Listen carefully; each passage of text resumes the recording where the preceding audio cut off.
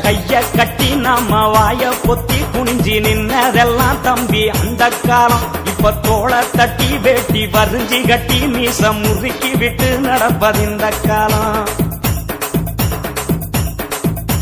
கைய கட்டி நாம வாய பொத்தி குனிஞ்சி நின்னதெல்லாம் தம்பி அந்த காலம். இப்ப தோள தட்டி வேட்டி வரிஞ்சி கட்டி மீசம்